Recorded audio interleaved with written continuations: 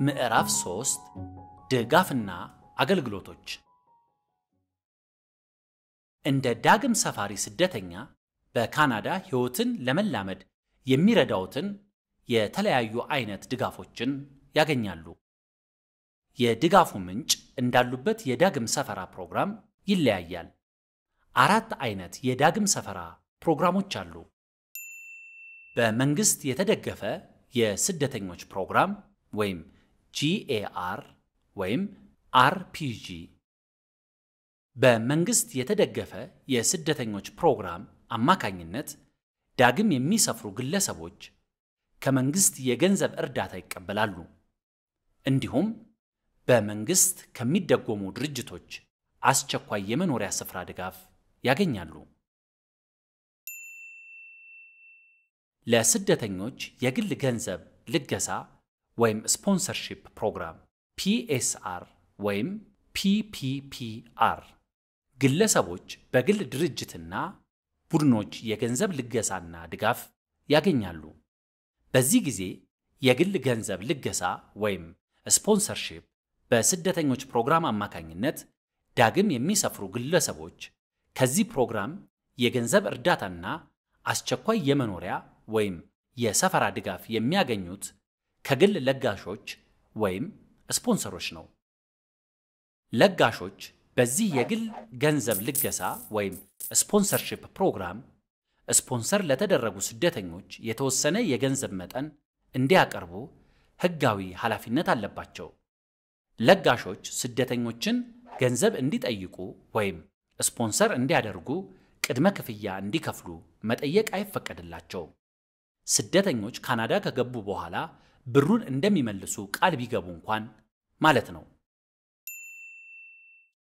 ጥምር የእርዳታ sponsorship ፕሮግራም ወይም JAS ወይም PAC በጥምር የእርዳታ sponsorship ወይም ልገሳ ፕሮግራም አማካኝነት ዳግም የሚሰፍሩ ግለሰቦች ከመንግስት የገንዘብ እርዳታ ይቀበላሉ። በመንግስት ከሚደጎሙ ድርጅቶች አስቸኳይ የመኖሪያ ወይም የሰፈራ ድጋፍ ያገኛሉ።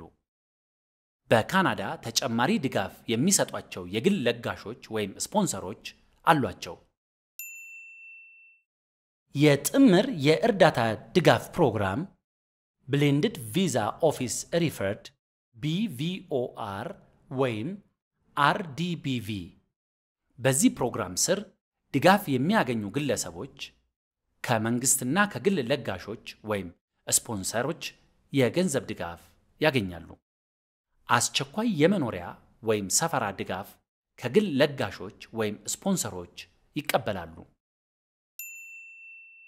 ከየትኛውም የካናዳ ዳግም ሰፈራ ፕሮግራም ቢሆን የሚያገኙት የገንዘብ ድጋፍ ውስን ነው። መጠኑ ብዙ ምክንያቶች ላይ መሰረት ያደረገ ሲሆን የቤተሰብ መጠን ወይም ብዛት፣ የቤተሰብ አባላት ዕድሜ፣ የምትኖሩበት ቦታና የቤተሰብ ፍላጎትን ያካትታል። ለጋሾችዎም ሆኑ በመንግስት የሚደጎመው ድርጅት በጀት እንዲያደርጉ ያንንም እንዲተገብሩ ሊያግዞት ይችላሉ። በካናዳ ከለጋሾችም ሆነ በመንግስት ከሚደጎሙ ድርጅቶች የሚያገኙት አስቸኳይ የመኖሪያ ወይም የሰፈራ ድጋፍ የተወሰነ ነው። እነዚህ ድጋፎች የሚቀጥሉበት ጊዜ በሰፈራ ፕሮግራሙ ላይ መሰረት ያደረገ ሲሆን እንዳሉበት ሁኔታ ሊለወጥ ይችላል። በካናዳ የሚያገኙትን አስቸኳይ የመኖሪያ ወይም የሰፈራ ድጋፍ ይመልከቱ። በክረምት ወቅት ከሆነ የደረሱት የክረምት አልባሳት፣ ከደረሱበት ቦታ ወደ ማረፊያ ስፍራው የሚያደርስ የትራንስፖርት አገልግሎት፣ ጊዜያዊ ማረፊያ፣ ቋሚ መኖሪያ ቤትና የቤት ውስጥ ቁሳቁስ በመፈለግ ማገዝ፣ በካናዳ የተረጋጋ ኑሮ እንዲጀምሩ ለማገዝ ተጨማሪና ዘላቂ ድጋፍ የሚያገኙበትን መንገድ መጠቆም፣ በተመደቡበት ማረፊያ ስፍራ መሄድ አስፈላጊ ነው። በዛም የሰፈራ ፍላጎትን መሰረት ያደረገ ድጋፍ ያገኛሉ። ካልሆነ የገንዘብና የአስቸኳይ መኖሪያ ወይም የሰፈራ ድጋፍ መቆራረጥ ሊኖር ይችላል። መኖሪያውን ከተመደቡበት ውጪ ወደ ሌላ አካባቢ መቀየር ከፈለጉ በፍጥነት ለጋሾውን ወይም በመንግስት ድጎማ የሚደረግለትን ድርጅት ማሳወቅ አለብዎ።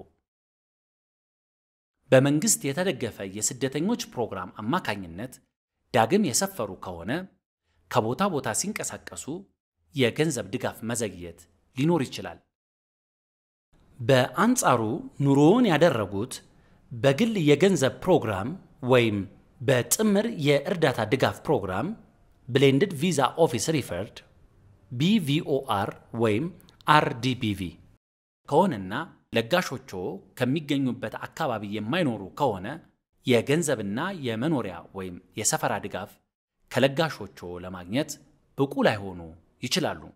መኖሪያውን ወደ ሌላ አካባቢ የሚቀይሩ ከሆነ ለመቀየር የሚወጣው ወጪ ሁሉ የራስዎ ኃላፊነት ነው የሚሆነው።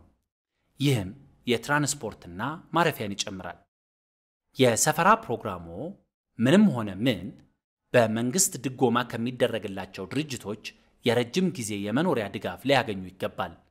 እነርሱም የመኖሪያ ወይም የሰፈራ ዙሪያ የሚገጥሙ ችግሮችን ለመፍታት፣ ሰዎችን ለመተዋወቅ፣ የተለያዩ ክህሎቶችን ለማዳበር፣ ሥራ ለማግኘትና በብዙ ጉዳይ ሊያግዞ ይችላሉ።